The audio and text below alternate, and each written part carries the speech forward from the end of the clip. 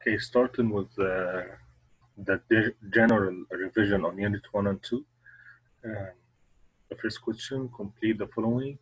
The number of well-known elements to now, how many? 118 elements. okay, so So, Mr. Going to answer or we're going to answer?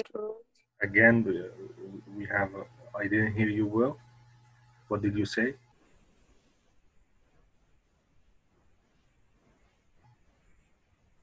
Hala? We're going to answer or uh, or, uh, or No, going to no, no. I, I will, I will, I will go to answer answer the, the following questions. But if you have misunderstanding or a problem in a question, just you can unmute yourself and ask whatever you want. Okay? If you want to join me, it, Okay. it doesn't matter. What do you prefer? Okay. To answer with me, or uh, I'm gonna answer all the question, and if you have a misunderstanding part, you can unmute yourself. What do you prefer? I think to answer, I don't know. Hmm? Choose whatever you want. If you want to answer with Okay, you me, can answer. what? Yeah, yeah. Okay, okay. All metals elements are solid except One. Mercury. thank you, mercury, which is while uh, the non-metal element, which is liquid Bromine. also, pro. Okay, thank you. Um, non-metals are likely to gain or lose electrons because it's non-metal more than four, so they gain electrons. Gain electrons. Thank you. Okay. While metals are likely to Lose. losing electrons. Okay. Losing electrons. During the chemical reaction, metal, as we said before, loses Lose electrons and become protons. and become no uh, ions. Ions, positive or negative? Ions? Yeah, positive ions. Thank you. Positive ions. So we have uh, metal lose electron metals lose electrons and they become a positive ions. Okay. While non-metals gain electrons Gains and become negative ions. Become negative.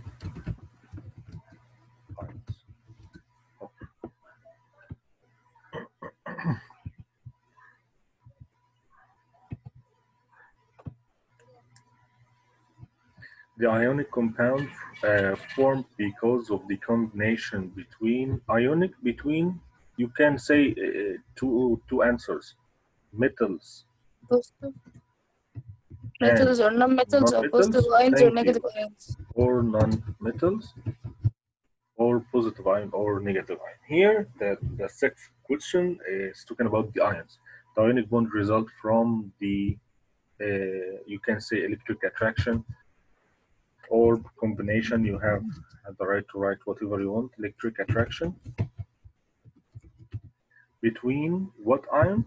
Of course, it will be negative and positive i Okay, negative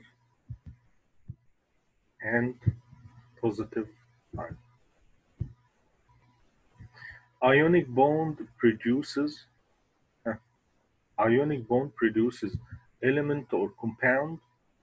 No, ionic between different metals or uh, sorry, different elements. Even they are metals and, and non-metals. Compound. So they form compound. They cannot form elements. While covalent bond may be, they are similar non-metals or different non-metals. Elements or.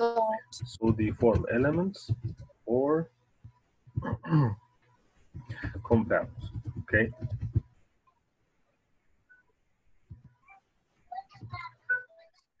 Uh, when two non-metals atoms are interacting each other, what the other atom with the same number of what? When two non-metals, so this is covalent bond, are interacting Yeah, each other, so they they do not lose or gain. They only huh, share. And each atom shares the other atom with the same number of electrons. This is the meaning of covalent bond. Okay, shares electrons. Shares electrons. Uh, the covalent bond can be uh, classified into, of course, we have uh, three, ty- uh, three types, single and covalent and double covalent and And triple triple, covalent. triple covalent bond.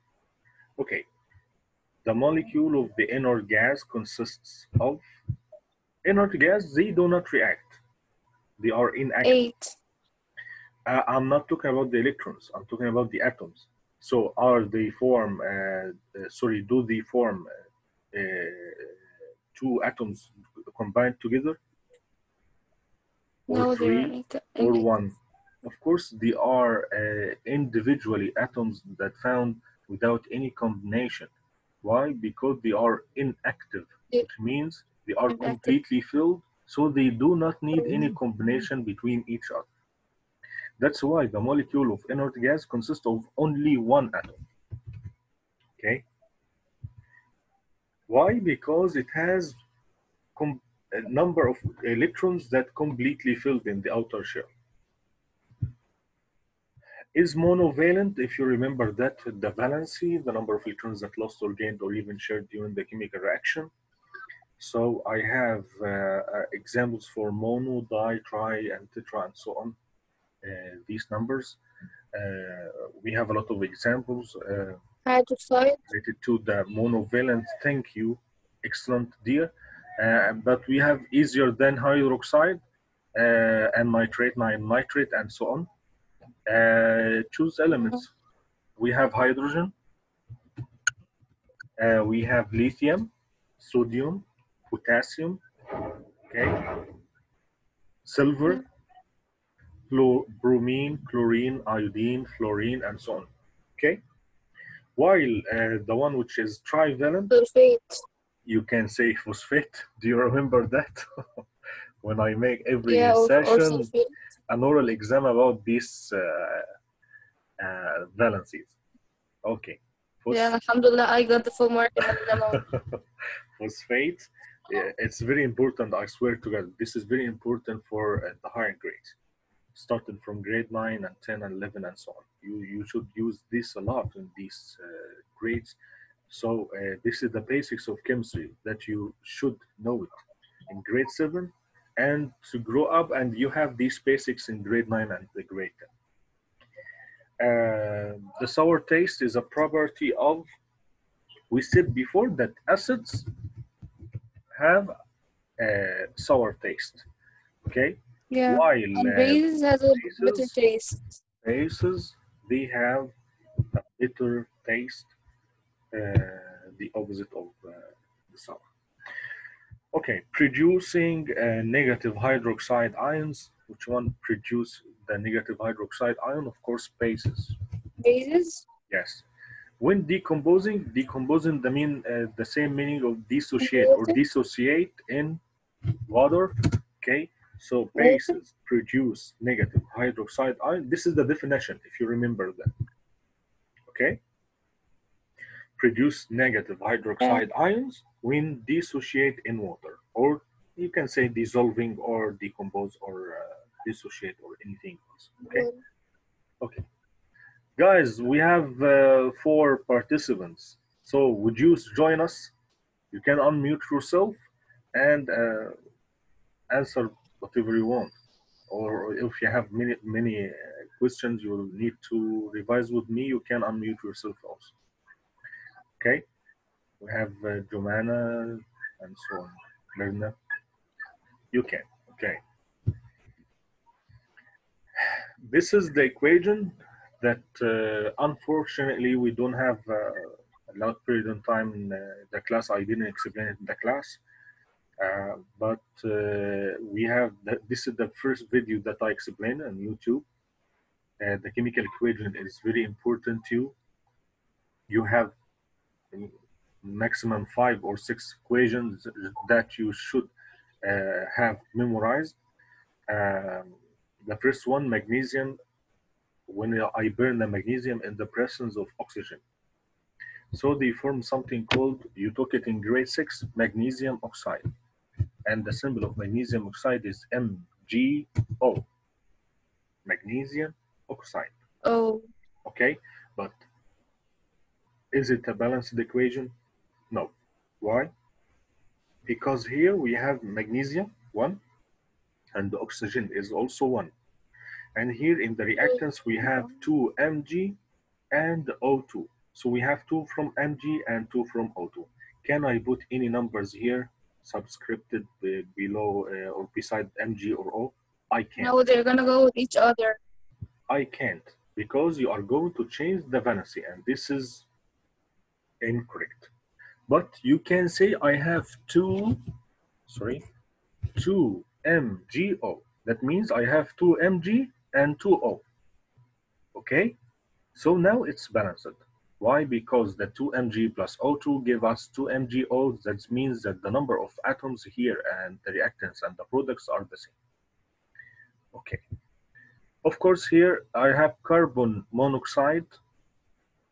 Uh, when I burn in the presence of oxygen, they form carbon dioxide. And be sure that the two is subscripted. Okay, like that. But is it a balanced equation? How many carbon here? Two. How many carbon? One. So I should put here two here. How many oxygen? Four. And how many oxygen here? I have one, two, and don't say three. I have four because two is rela- uh, related to the carbon and oxygen as well. So I have here four oxygen atoms and here four oxygen atoms as well. Mister, I can't really understand this part. Okay, how many how many carbon atom uh, oxygen atoms here? I have two. Am I right? So I have here two. Yeah, And how many oxygen here? Two also. one, No, two, because this uh, number refers to or the carbon and the oxygen. So how many oxygen? Two and two. So the total in the reactants, how many? Four. Okay. How many oxygen here? Don't say two. two, I have two multiply two, so it equals four. four. Okay, and how many carbon? Two. Okay. That's why that, that the same amount of oxygen here, four, and I have here four also. Okay, and the carbon is two, Okay. and here carbon is two also. You should balance the equation because uh, to make it uh, in a correct way uh, before uh, you, you write any compound, you, you should balance the equation. Okay, do you have any question in this part? No. Jumana, you can ask whatever you want. You, did you raise your hand? No, I didn't. آه، مستر أنا عايزة مستر Ask. آه عايزة نمبر 14 تاني Number 14. I have magnesium burns and the Mhm. presence of oxygen. Okay.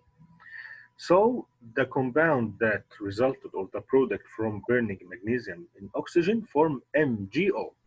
Okay. Mhm. Which is magnesium oxide. Why we put two here?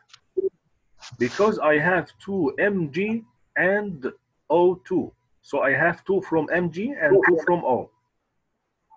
But I can't put here two beside the, the magnesium or two beside the oxygen. Do you know why? I can't make like that. Uh, uh, Mg2O2. I can't make that. Why?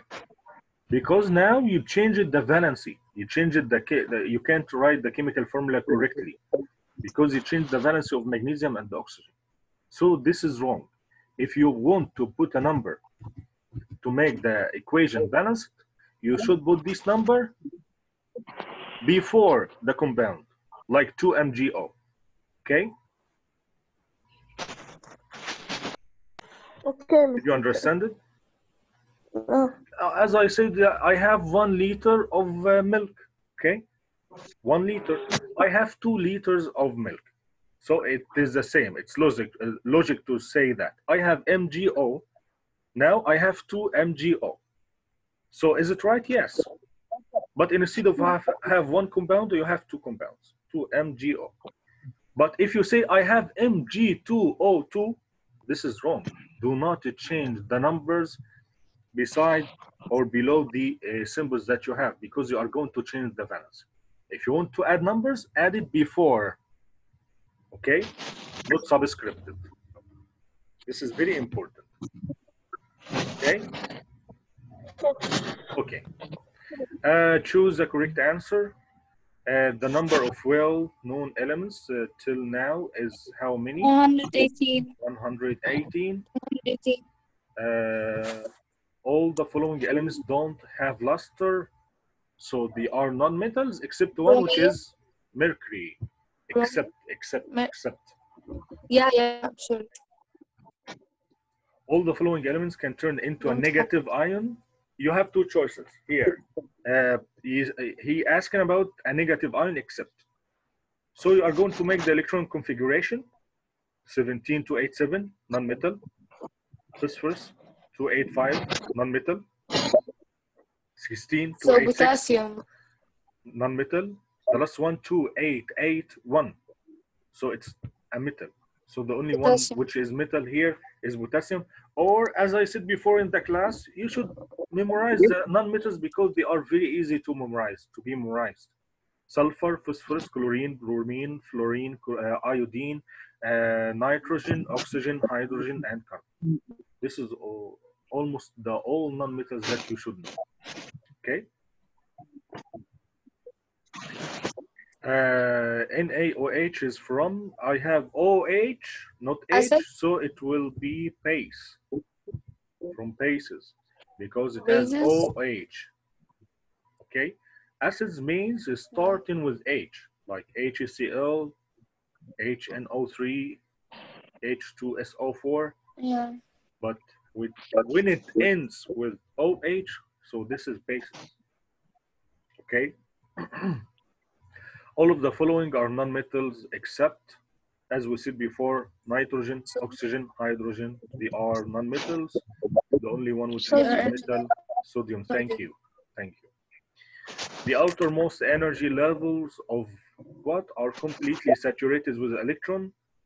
All the previous. Noble gases. No, all the previous. Yeah, sorry, sorry, sorry. Do you know why? We said that the the uh, guys mute yourself if you please. And we said that the only one uh, the the elements that they are completely filled with electrons will be noble gas. But here he didn't say metals and non-metals. He said metal ions and non-metal ions. And the meaning of the word ion that it will it becomes a completely filled with electrons. Okay? Why? Because it lost or gained. So it becomes 28, 288, okay? And so on. So when the metal and non-metal loses or gain electrons, so they become completely saturated with electrons in the outermost energy level as the noble gases. Okay? So all the previous are completely saturated with electrons. The covalent bond exists between non-metals element. Okay? But it's non-metal, so no, Yes. no correct answer or No, non-metals. Covalent bond between two non-metals. Yeah, it's non-metals, but it's written non-metal, so I Elements. supposed to understand this that's non-metals. Yes, non-metal elements. Okay. Yeah, okay. The ionic bond exists between a metal and A metal and a non-metal. non-metal. Okay. The single covalent bond, of course, single, so each one shares with one electron. Okay. In nitrogen molecule, each atom shares with three electrons. Three electrons. Why? Because uh, uh, in this in the exam, I will give you the number. Like when I say that the atomic number of uh, nitrogen is seven. Okay, that's why when you make a, an electron configuration, so it will be two five, two five. So it needs to gain three electrons. That's why it shares with three electrons. Okay. The valence of the neon gas uh, is neon, helium, argon, xenon, radon, krypton. All of uh, these gases belong to inert gases. So there is no Yeah. valency for The, the inert gases. Okay. They, they do not lose or gain electrons. That's why the valency of them is zero. Okay. All of the following are monovalent atomic groups except nitrate, yes. Hydroxide, bicarbonate, yeah. phosphate, no. Try The last one. Thank you. Okay, the compound Al2O3 showed the aluminum is okay. If you want to know the aluminum valency, return it back the number before the cross multiplication. You know that we are going to make a cross multiplication. Uh, so the aluminum takes the two from the oxygen because it's divalent, and the oxygen take the three from aluminum, which is trivalent. So change it again to get the number of aluminum. So the aluminum here is trivalent. Okay. Okay. Dissociate in water and producing hydroxide bases. Bases. H2CO3 starting with H, so it will be Acids. acids. The gas which causes headache, fainting, and stomach, uh, stomach ache is the carbon monoxide. This is the negative effect of carbon monoxide. Okay? Carbon monoxide. Uh, carbon monoxide may mm, uh, causes headache, fainting, and stomach, uh, stomach ache. Carbon dioxide uh, causes global warming. Okay? Sulfur oxides uh, may, um, uh, causes respiratory malfunction, means breathing problems, and building corrosion. The last one, nitrogen oxides, they uh, harm the nervous system and the eye. Okay, this is the negative effect of gases at the last part in uh, unit uh, one, the third lesson. Okay, maybe we have uh, this uh, part, right? The scientific term. This is the last part that we are going to answer because we have a limited time. Sorry for. Okay. Okay. Tell me the elements which uh, which their outermost contains less than four Metals. metals. Elements have luster. Metals. Metals. Elements ductile Metals. and malleable. Metals. Metals. Okay, hold on. Elements which their outer. Okay, okay, listen to me. I didn't read the question yet. Elements which their outermost level contains more than four non-metals do not have lusters, luster, sorry, non-metal, Non-metals. aren't ductile or malleable, non-metals, Non-metals. gains one electron or more, but negative ion. Okay? You're asking about the atom type. Okay.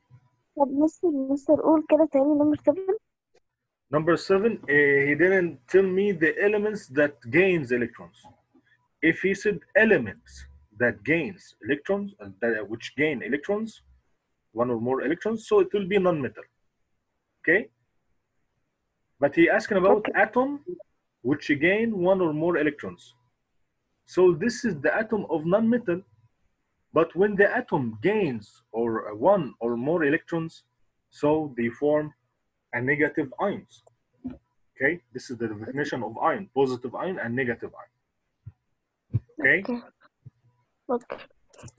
Positive ion here because it, ga it gains electrons. Okay? A, chemical bond which occurs between metals and non-metals?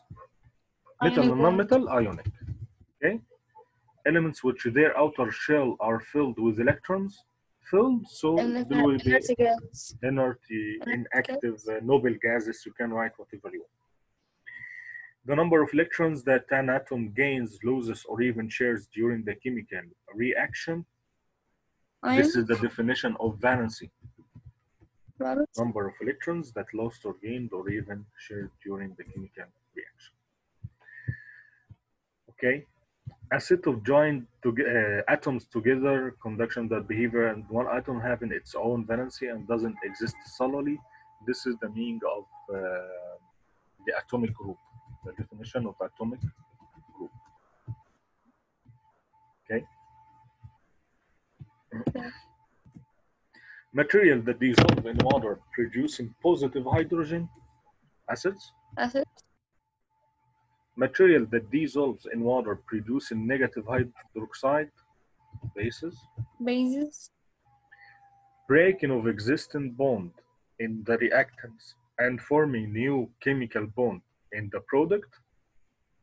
It will be chemical reaction. Are going to take this definition again in grade 9, the second term, inshallah. Okay? The set of symbols and chemical formula representing the reactants, the product, and the condition. This is the last session that I explained in the class, the chemical equation. The chemical equation.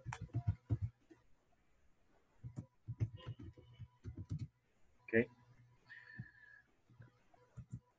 Uh, the last one, the bond resulting from the electric attraction. Electric attraction, so it will be ionic bond. Okay, guys. So I, I think that I revised all the uh, the question in unit one. We still have